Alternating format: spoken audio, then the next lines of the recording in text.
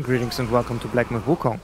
In this video we're going to cover the Sahali Tiger Vanguard boss fight.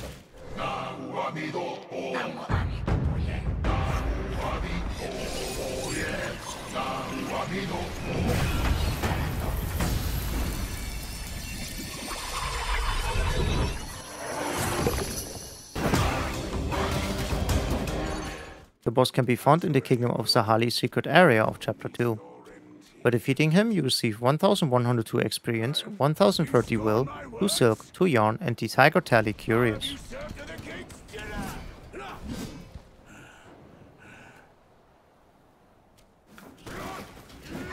Dodge the first combo of the boss and counter him with an Immobilize. Hit him with some combos and chain your Spirit spell into the mix. Follow up with another combo.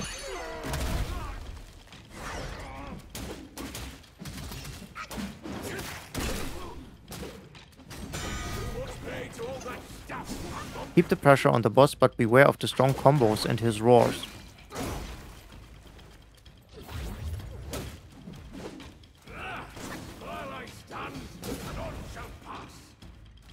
If he roars, always seek your distance to the boss.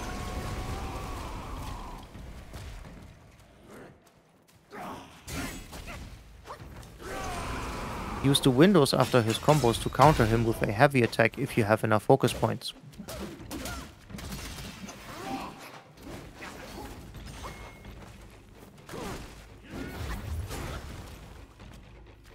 When Immobilize comes off cooldown, use it immediately and chain another combo or two while he is repelled. Immediately after, use your transformation skill and inflict some heavy damage to finish the fight.